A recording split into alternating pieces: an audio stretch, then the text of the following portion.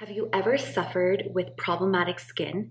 Have you gone into your bathroom and looked at the hundreds of products and thought, I need to figure out which ones are working for me and which ones are not?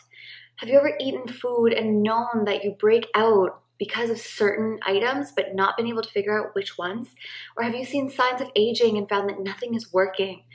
Then this series is for you. And it is a series where I am going to break down exactly how you are making or breaking your skin's health from the inside and the food that you consume to the outside and the products that you apply to it. So, just like you never want to miss a Monday workout, you are not going to want to miss Skincare Sundays.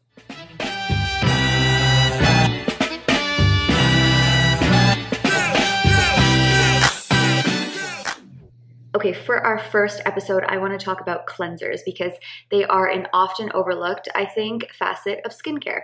People think, you know, you apply your cleanser and you just wash it away with water, um, and it's easier to focus on other things like your nutrition and topical treatments. But I think everything starts with how well you cleanse your skin and the product that you're using to cleanse it with. Not only is cleansing responsible for removing the dirt, debris, pollution, bacteria, all this stuff that's sitting on your skin's surface just waiting to clog your pores or cause damage, but it also preps your skin to be able to properly absorb the oftentimes expensive topical treatments that you're going to follow it with.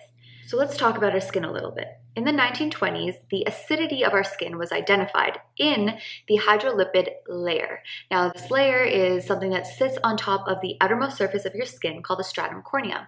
And it's a protective and slightly acidic layer which acts as a barrier between your skin and the rest of the world. If there was something that disrupted this barrier, your skin would be more inclined towards damage, to invasion from bacteria, to free radical damage. Water would be more easily able to escape, and your skin would start throwing up these red flags that something was wrong with it. I don't know what this was. That, those are my red flags.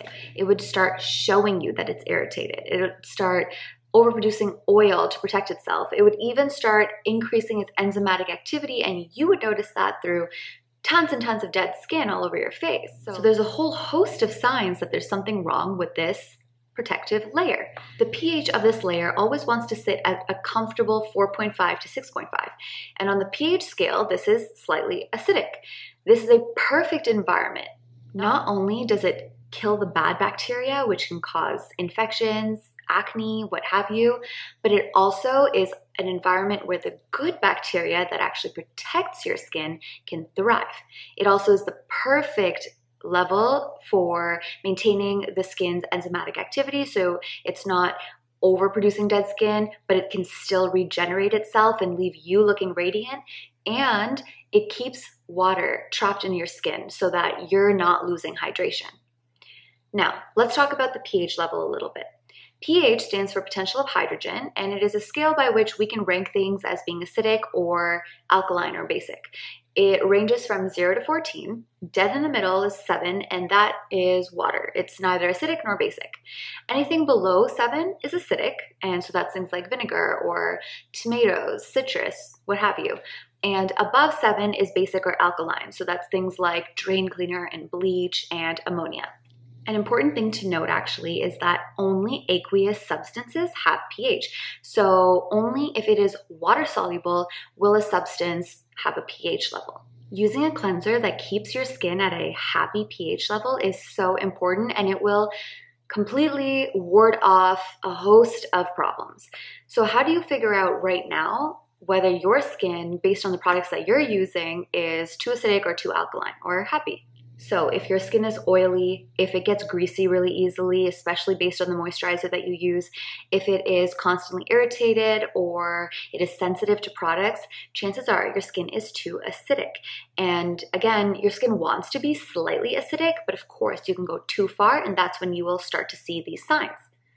Now, on the other hand, if your skin is really tight and dry and you want to moisturize multiple times a day, if your skin is crepey and never really looks radiant, if it never looks plump and kind of looks sunken and sallow and you can see fine lines, if you notice that after a period of this, your skin is all of a sudden overproducing oil um, or that you're prone to breakouts, chances are you are too alkaline.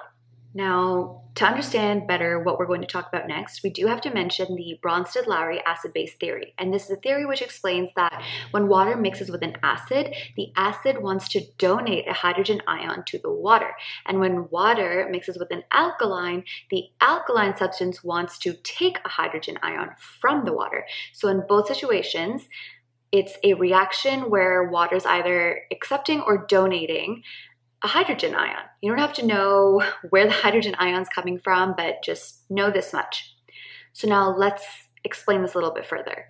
So when acid mixes with the water in our skin, it donates a hydrogen ion to our water, and this reaction causes a process called denaturing of the protein in our skin.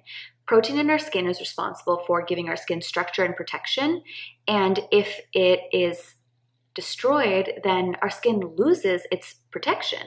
What happens is the protein cells die, but they don't disintegrate. So you will see sometimes with overuse of an acid product that you have patches of scaly skin on your surface.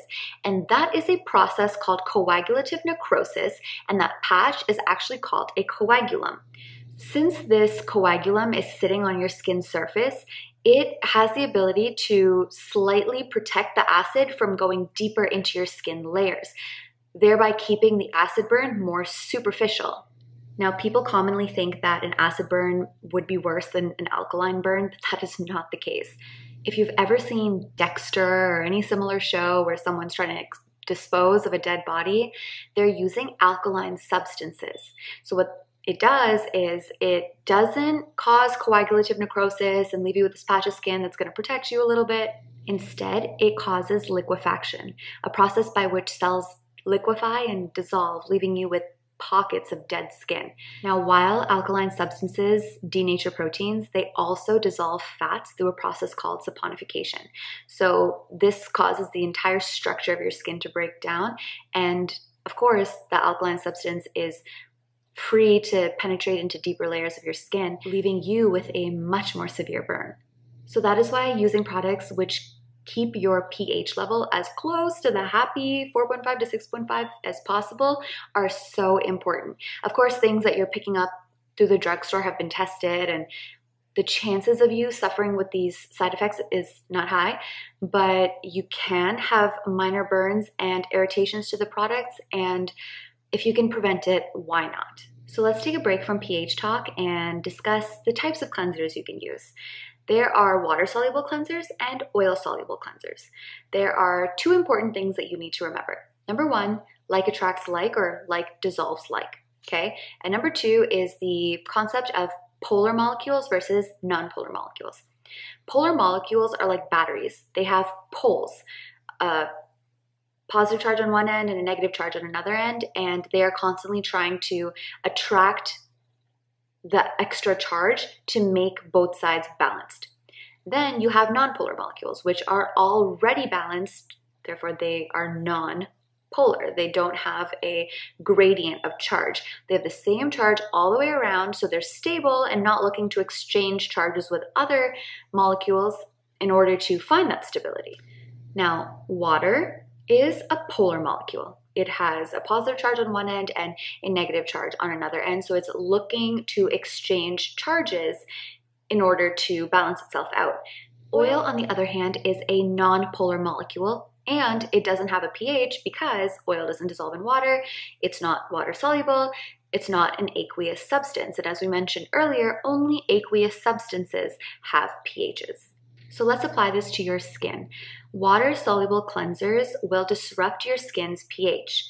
Why? Because, first of all, a pH mixing with another pH, there's always going to be some kind of exchange.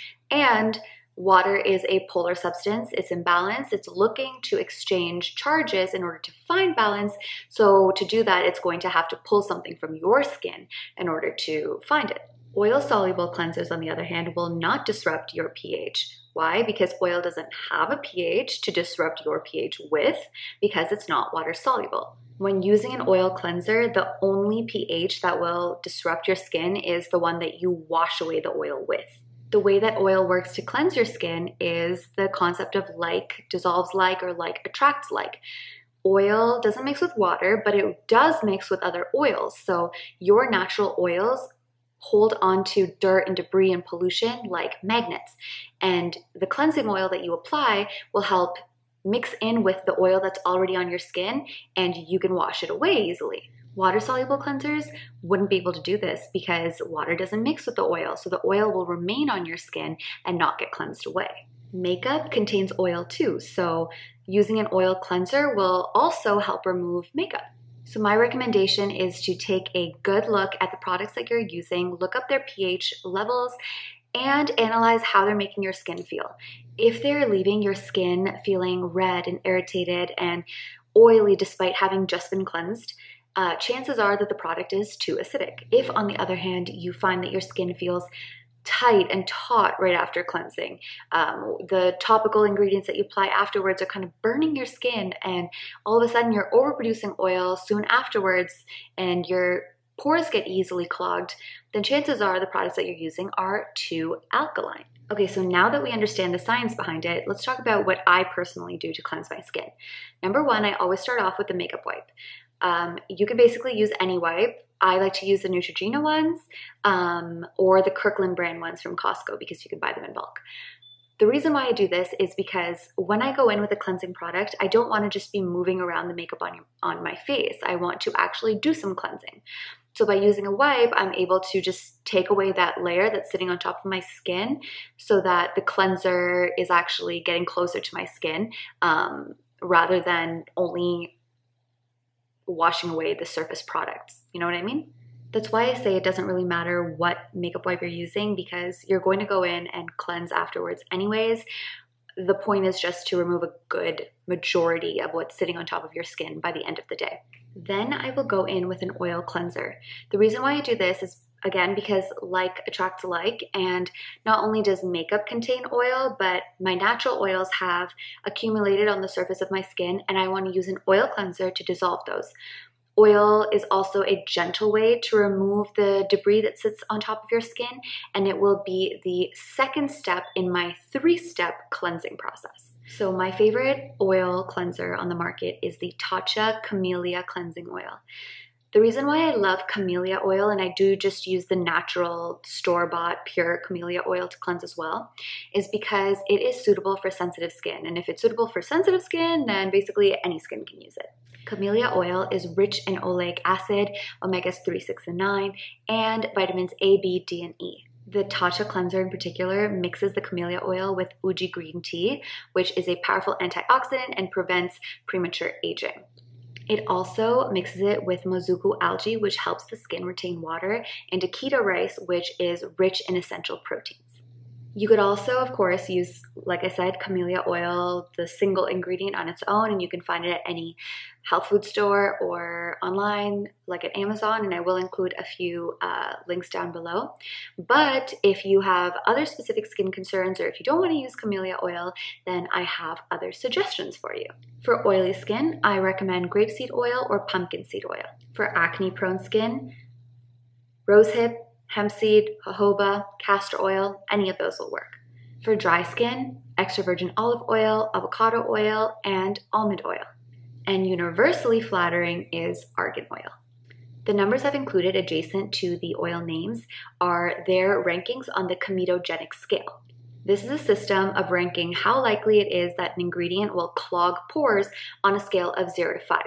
Zero being it won't clog pores at all, one being there's a very low likelihood, two being a low likelihood, three being a moderate likelihood, four being a fairly high likelihood, and five being it'll clog pores. An oil that I find people use all the time is coconut oil, and coconut oil is a four on the comedogenic scale. So if you're prone to acne, it's basically the worst thing that you can be using. Now let's talk about how I actually use the oil. So I've just removed my makeup, or if I'm if I haven't worn makeup, then I won't use a makeup wipe. I'll go in with the oil on a dry face. So there's no water that I've wet my face with first. This is because I want the oil to not have a barrier between it and the other oils. It's just my way of thinking. Really, the oil will find its way to the other oil on my skin. So I really massage it into my skin. I work all the way around my face and my neck, and then I do my eyes last so that you're not moving around all your eye makeup to the rest of your face. Then once it looks like everything is dissolved on my skin, I will take a damp washcloth and I will stick it under the tap on as hot of a setting as I can get my water to be. And I will drench the washcloth in the water. Once I notice that the washcloth is kind of steaming, I'll turn off the water, I'll wring it out and I will lay it on my face. I will stand there for as long as it takes for the washcloth to feel cool to the touch or room temperature to the touch what this is doing is it's opening my pores, making the pore clogging oils more available to be wiped away. And it's just a nice like spa experience at home. So when I notice that the washcloth is no longer warm, I will just wipe off everything that's on my skin and wring out the cloth, rinse it a few times, then put it in the wash and proceed to my last cleansing step. So the last cleansing step is when I go in with a water soluble cleanser. The way I see it, the makeup wipe removes the surface dirt, debris, makeup, etc. Then the oil goes in and cleans up anything else and the oils that have cum- accumulated on my skin. And then the water cleanser will go in and actually clean my skin now that everything is off of it. Because a lot of the time, people only cleanse once, and all you're doing at that point is taking away everything that's sitting on top of your skin. You're not actually cleansing or treating your skin at its core. Now, my holy grail cleanser and what I give all the credit to for curing me of terrible, terrible acne is the Drunk Elephant Juju Bar. Now, I use the Juju Bar at night. In fact, this whole cleansing process is only at night, not in the morning. But the bar is made up of thermal mud to detoxify and tone the skin, and bamboo powder to softly exfoliate the skin. Now, the bar is fragrance free, soap free, and vegan. It's also formulated with a pH of 6.3, so it's neither too drying or too stripping of the skin's natural acidity. It is a perfect equilibrium. So after using this, not only do I know for sure that my skin is properly cleansed and ready to accept the topical ingredients that I will use to treat my skin afterwards, but it's also exfoliated at the end of the day of all the I guess, dead skin and texture that my skin has built up through the day. Now, when people think of exfoliation, they go over the top. They think that if you are not feeling abrasion on your skin, you're not exfoliating. But that is not the case. The rule of thumb is if you can sense abrasion, your skin is feeling it a thousand million times more. Um, and what you're doing is actually creating micro tears on your skin that are so hard to repair and leave your skin with all these cuts in it so that there's all these entrance points for bacteria and pollutants into the deeper layers of your skin, causing long term damage. Now, that's all for a whole separate video, but my point being the bamboo in this cleanser is soft and it won't feel like your normal feeling exfoliant but it does such a good job and it really leaves your skin with such a healthy radiant even toned glow once you're done I do not have problematic skin at the moment, but I do naturally, and cleansing in this way has completely transformed the health of my skin. Um, I think I there's like one spot I'm sure you can see, or maybe you can see, is healing. It's um, discolored. It was a acne mark that I picked, and I shouldn't have. But it's the first breakout that I've gotten in almost a year, and it's because of using this cleansing method religiously.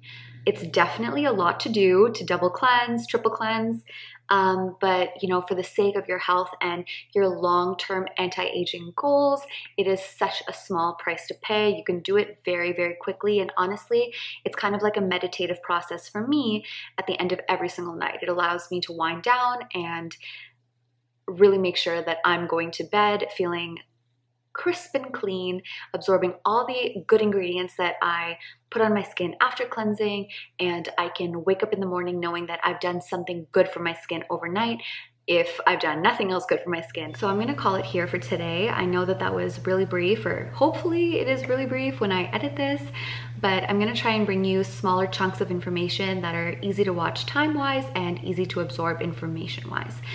If you like this video and if it brought you any insight into the science behind your skincare, then please give me a thumbs up and let me know that it resonated with you.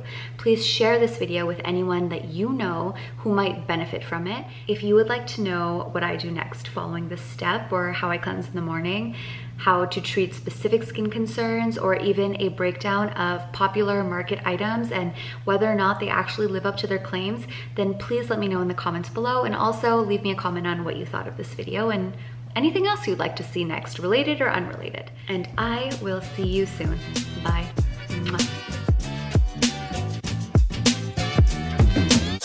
Old folks talking about back in my day.